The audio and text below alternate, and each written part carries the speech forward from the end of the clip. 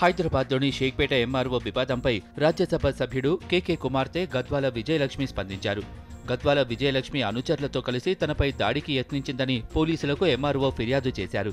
దీనిపై ఆమె స్పందిస్తూ ఎంఆర్ఓపై పోలీసులకు కలెక్టర్ కూడా ఫిర్యాదు చేశారని విజయలక్ష్మి తెలిపారు.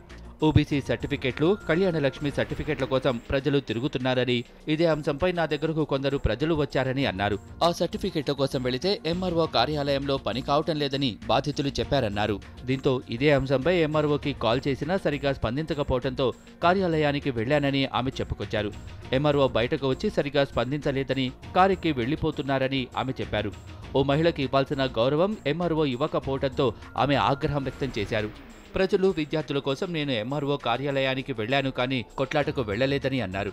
బంజారా హిల్స్ కార్పొరేటర్ విజయలక్ష్మిపై షేక్పేట తహసీల్దార్ శ్రీనివాస్ రెడ్డి పోలీసులకు ఫిర్యాదు చేశారు. తన ఆఫీసులోకి బలవంతంగా వచ్చి తన మీద దాడికి పాల్పడ్డారని ఫిర్యాదు చేశారు. హైకోర్టుకు వెళ్ళాల్సి ఉండగా తనను అడ్డుకుని దుర్భాషలాడిందని కేకే కూతురునంటూ నానా హంగామా చేశారని ఆయన ఫిర్యాదులో పేర్కొన్నారు.